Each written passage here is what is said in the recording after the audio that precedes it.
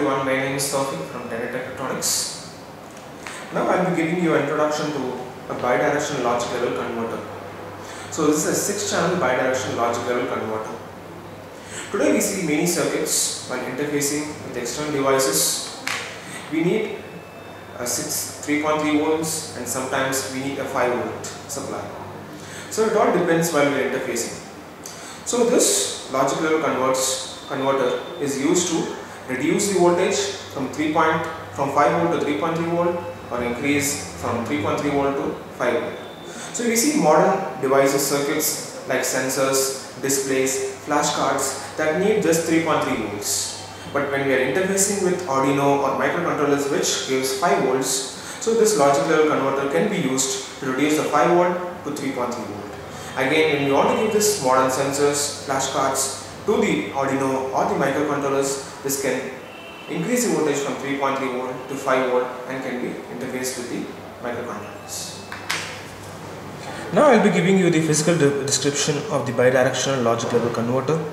So the logic level converter has 6 HV pins and 6 LV pins. HV stands for high voltage and LV stands for low voltage as it can be seen here. And it does have two ground on either side on HV side and one on the LV side. So this inputs must be given a regulated and steady voltage in order to work properly. So when we are supplying a HV, the HV must always be supplied a voltage that is higher than the lower.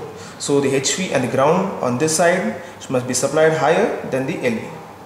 For example, if you are interfacing from a 5 volt to 3 volt, so the, the voltage at HV must be 5 volt and the voltage taken from the LV must be 3.3 volt. Now we'll see the data channels in this bidirectional logic level converters. There are six separate channels on the bidirectional logic level converters, each capable of shifting data to and from high and low voltages. So these pins are labeled as HV0, HV1, HV2, HV3, HV4 and HV5 and the other side on lower it is named as LV0, LV1, LV2, LV3, LV4 and LV5. So once we give the input at HV0, we take it from the corresponding lower voltage that is LV0. So if we give at HV1, we take it from HV1, uh, LV1. So the numbers at each end designates the channel of the pin and HV and LV prefix determines whether it is on high or lower side of the channel. Now I will be giving you a demonstration of a bidirectional logic level converters.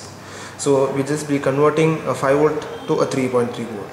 So a 5 volt is given to HV pin and a 3.3 volt is given to an LV pin. So this is a compulsory connection that needs to be given when working with the bidirectional logic level converters.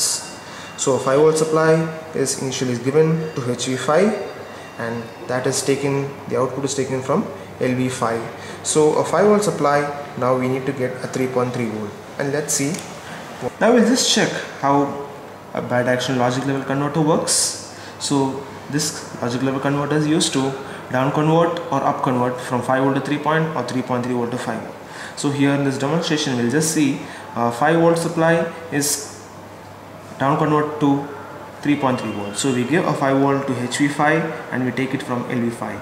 So we'll just check in a multimeter how much input we are giving initially. So here you can see we are getting 5 volt. So now we'll just check how much output we get at LV5 that is at the output stage. So here we can see we get 3.3 volts. So a 5 volt supply is down converted to 3.3 volt. Thank you for watching this video.